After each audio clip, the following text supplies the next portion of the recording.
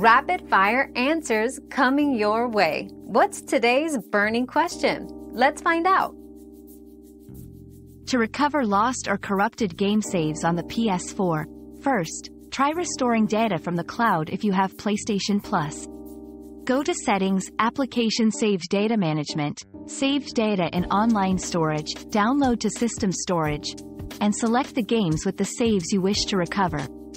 If that doesn't work, check if you have USB backups. Regularly backing up your saves can prevent loss in the future. Unfortunately, without a backup, it may not be possible to recover lost data.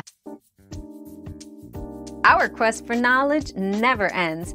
Thanks for being part of today's discovery.